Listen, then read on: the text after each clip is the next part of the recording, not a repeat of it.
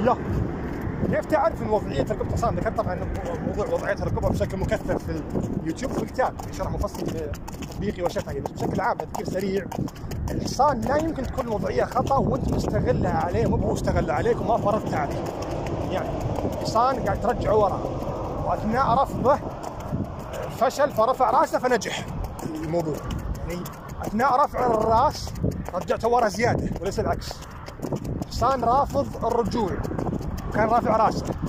فيوم تعاملت معه صح قوس ورجع. انت ما استغل التقويس الزايد عليه وقت ذلك فإذا كان الحصان رافع راسه أو مقوس تقويس زايد أو مسوي وضعية بركبها سببها سوء ركوب عندك. أنت فارض عليه فرض بسبب سوء الركوب أو إنك أمرته بالشيء هذا. يعني شغلك خطأ لأنك أمرته بأمر بشيء المفروض ما تأمره فيه أو تعاملك خطأ فسوى الشيء. ذا بسبب تعاملك الخاطئ كيف تعرف إنه خطأ؟ بيشتغل عليك. يقوس تقويس خلف العمودي يرفض يكعب بيرفع راسه ويرفض يرجع ورا. يرفع راسه وينطلق. لكن لما الحصان أثناء فعل الحركة اللي برقبته قاعد يرضيك. يعني لأنه رفع راسه كع أسهل. أو لأنه قوس تقويس زياده تقويس أسهل أو العكس. هنا أنت استغليت الوضعية عليه مو هو استغل الوضعية عليك ما فرضت عليه. مرات يرجع وهو مقوس مرات يرجع وهو رافع راسه مرات يرجع وهو مد رقبته وقت على ذلك. هذاك موضوع الكع مرات يكع وهو رافع راسه مرات يكع وهو مقوس مرات يكع وهو مقوس يده وقت على ذلك.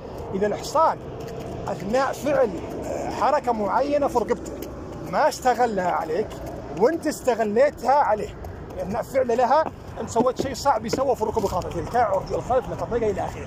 معناتها إنك واحد لم تأمر أمر بفعلها هي حركة طبيعية باختياره سواها. ثانيا ما استغلها عليك أنت استغليت عليها يعني إنه مستحيل يكون شغلك خطأ.